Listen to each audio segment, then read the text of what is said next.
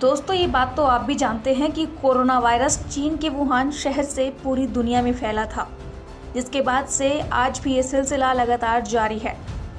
पिछले साल नवंबर महीने के आखिरी हफ्तों में अफ्रीकी देश में कोरोना वायरस के ओमिक्रॉन वेरिएंट का पता चला था और फिर पिछले दो महीनों में ओमिक्रॉन वेरिएंट तूफानी रफ्तार से पूरी दुनिया में फैल गया। दोस्तों, देश दुनिया को धड़ाम कर चुका कोरोना अब घुटने टेकता नज़र आ रहा है। क्योंकि देश में इसके मामले बड़ी ही तेज़ी के साथ कम हो रहे हैं। हालाँकि मौत के आंकड़े सरकार की चिंता को बढ़ा रहे हैं, क्योंकि बीते कुछ दिनों में देश के अंदर कोरोना के केस तो घटे हैं, लेकिन कोरोना से होने वाली मौतों की संख्या काफ़ी बढ़ गई है, जिसने सभी को चिंता में डाल दिया है। लेकिन आपको घबराने की ज़रूरत नहीं है, क्योंकि कोरोना को मात देने में वैक्सीन का काफ़ी बड़ा हाथ है। साथ ही आपकी सावधानी भी इसमें अहम भूमिका निभाती है। और आगे भी आप इसी तरह से कोरोना से लड़ सकते हैं। कहने को तो दोस्तों, दुनिया अब कोरोना से लड़कर जीना सीख गई है। लेकिन दोस्तों, जो लोग कोरोना से संक्रमित होकर ठीक हुए हैं, उन लोगों में कुछ अजीब सी समस्याएँ देखने को मिल रही हैं। जिनमें कोरोना से ठीक हुए ज़्यादातर लोगों में सर दर्द की समस्या देखी गई। लेकिन सवाल ये उठता है कि क्या वाकई में कोरोना से ठीक होने के बाद उन्हें समस्या हुई है? या फिर इसके पीछे का कुछ और कारण है। साथ ही सवाल ये भी उठता है कि इससे कैसे बचा जा सकता है। आज आपके तमाम सवालों का जवाब लेकर मैं हाजिर हूँ। लिहाजा वीडियो के एंड तक बने रहिए। क्या सिर का चकराना बन जाएगी लॉन्ग टर्म प्रॉब्लम क्या है इस समस्या के बढ़ने का कारण? आखिर इस समस्या से कैसे बचे? दोस्तों, देश दुनिया में फैला कोरोना काफ़ी घातक बन चुका है। और अब तो इसका एक नया वायरस भी दुनिया में कदम रख चुका है। आपको बता दें कि कोरोना वायरस के लक्षण अब केवल सांस तक सीमित नहीं रह गए।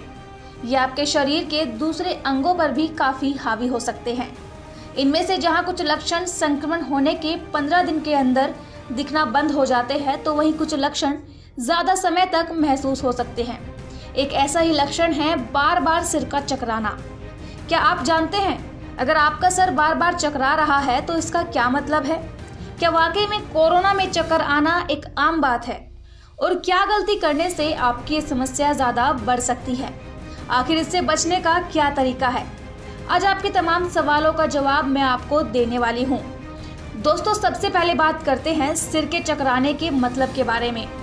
दोस्तों, सिर के चकराने का मतलब साधारण भाषा में होता है सर का घूमना, जिसमें अक्सर इंसान को बेहोशी तेज सिर दर्द, सुस्ती, कमज़ोरी और अस्थिरता महसूस होती है। इसमें दिमाग को ऐसा लगने लगता है जैसे कि आसपास की दुनिया घूम रही हो।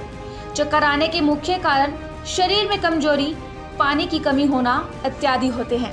इसीलिए कोरोना संक्रमण के दौरान चक्कर आने की वजह वायरस है या कुछ और, ये बतलाना काफ़ी मुश्किल होता है।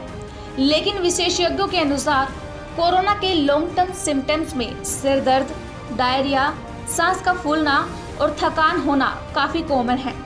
ये लोगों को कोरोना से रिकवर होने के बाद भी आ सकते हैं। सिर चकराने की समस्या भी मरीजों में देखी जा रही है। हालाँकि बहुत कम लोगों के साथ ही ऐसा होता है। यदि ऐसे मरीजों ने रिकवर के दौरान इस लक्षण को नजरअंदाज किया या फिर इस समय अपनी देखभाल नहीं की तो उनमें ये परेशानी लंबे समय तक बनी रह सकती है।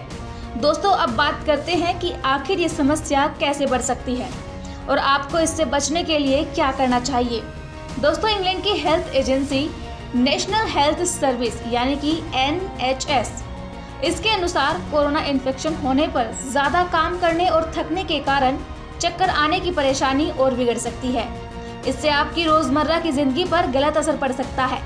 ये समस्या अगर ज़्यादा कॉमन हो गई तो आपका बैलेंस बिगड़ सकता है और आपको चलने फिरने में भी परेशानी हो सकती है।